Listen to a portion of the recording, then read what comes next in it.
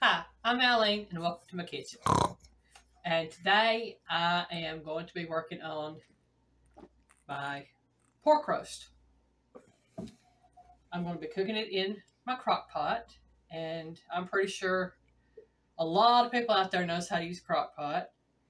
Uh, but I'm making a pork roast. Uh, I'm going to use part of this for a pulled pork, and then the other half I'm going to use in an upcoming dish that was requested by Brian at Wanderer Arts, and that is Brunswick stew. That's Wanderer Arts and Adventures, folks. Right, Wanderer Arts and Adventures. Uh, he does wood burning, painting. Uh, they ride around, and he has a jeep, so he talks about his jeep. So he, he does a lot of different things. So it's a great channel. You know, just check him out. And I'll even leave a link in my description for his channel so you can check him out. And his better half, Krista, she does kinda country. Yeah. And I'll even leave a link for Krista's uh, channel as well. Kind of kind of country. They're both great both. So uh, So, Krista, that's kind of a spur for you to get some content going. so y'all have uh, y'all, y'all check them out. But right now we're gonna get back to my pork roast. And here in front of me I have a little over three and a half pound pork roast. And I don't know if you can see the seasonings or not. Hold on just a second. Okay. There them things are. Okay. Here, now all of these are roughly a teaspoon on seasonings, and I've got paprika, onion powder, garlic powder, cumin, and salt. And yes, I do have a teaspoon of salt in here because this is a big pork roast, and you want to salt pork because if not, it will make you sick to your tummy and make you be in the bathroom all day. Definitely clean you out. Yeah, so I'm just going to put all these in this bowl right here.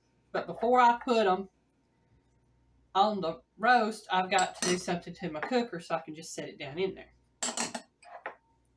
What you got to do to it? I've got to put some aluminum foil in it. Oh. I'm not putting water in here. I'm just going to let this cook in its own fat and juices. Oh. And to keep it from sticking or burning in there, I'm going to put a little bit of aluminum foil. And I didn't know you could put aluminum foil into a crock pot until I actually watched the crock pot video. They were cooking something other than roast. They were cooking different things in there. So I'm just going to put that in there, right there, right there. And which aluminum foil is a conductor of heat, so that will help it Cook better, too. even better. Yeah. So what I'm going to do is I'm going to take this pork roast out right here.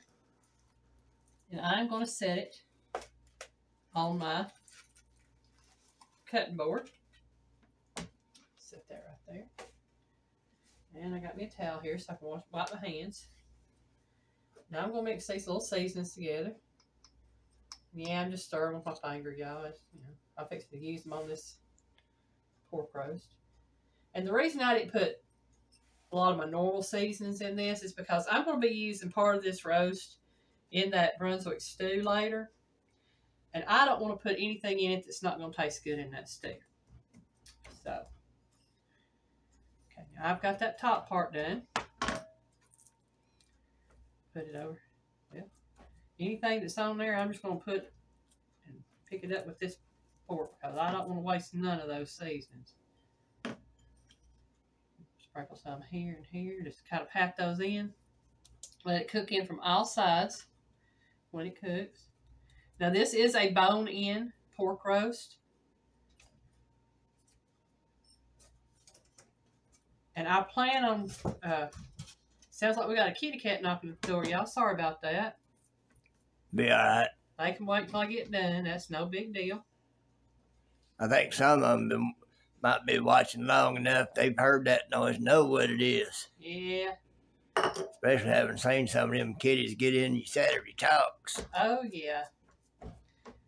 And I had a question about one of my kitties. It was the one that was sitting behind me in my last Saturday talks. Her name is Callie.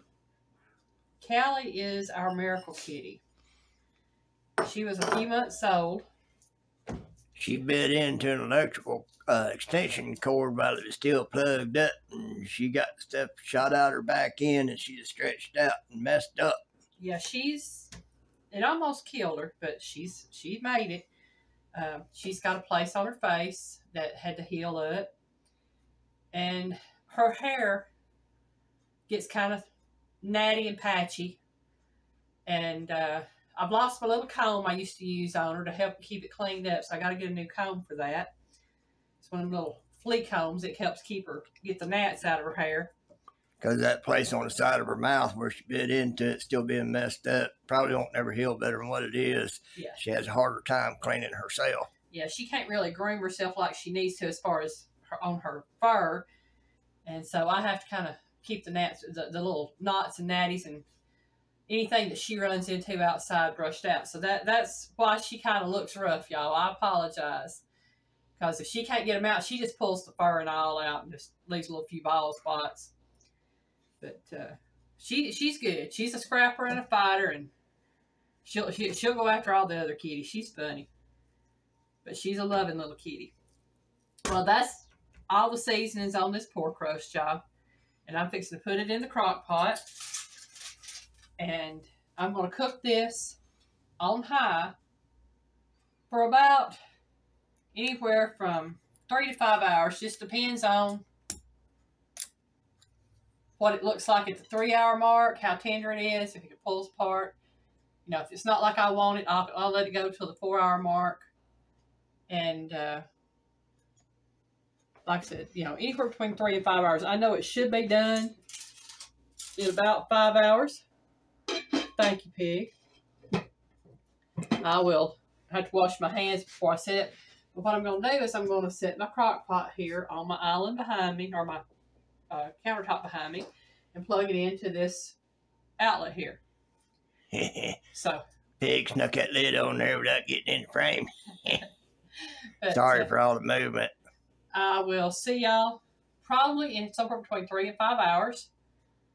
I'll probably bring you along at three hour mark when I check it. Let you know then if I'm going to cook it for longer or if I'm going to go ahead and take it out then. But either way, we'll see you in about three hours.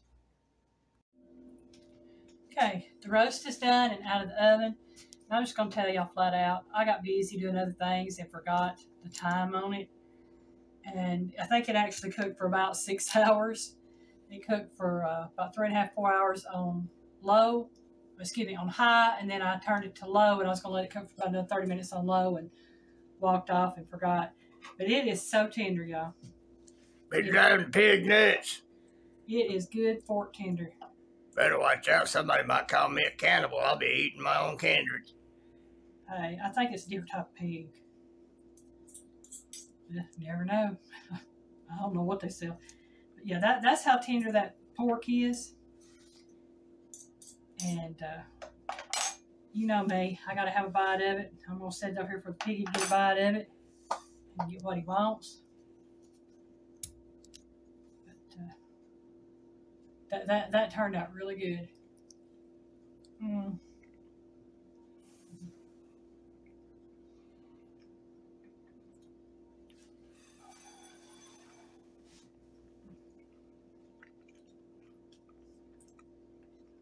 Y'all, that is just so good. That's the tender. Don't need my helpers to help chew it up. Well, how you get that swallowed? I want to thank y'all very much for watching my video.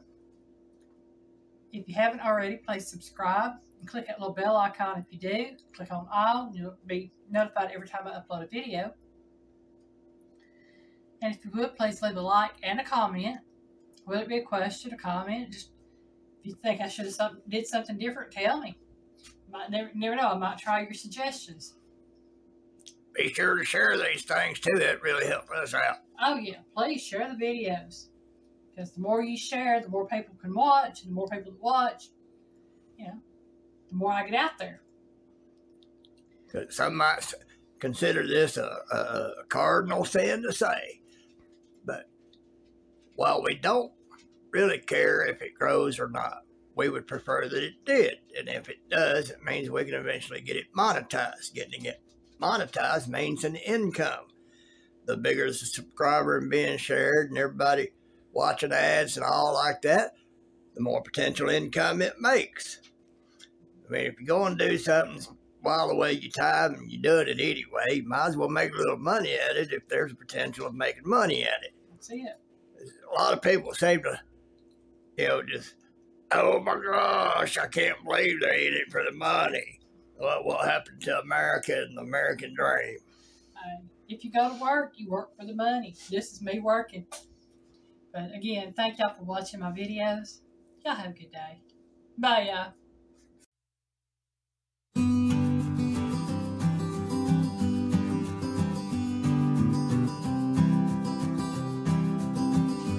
Bye, y'all. Where am I going?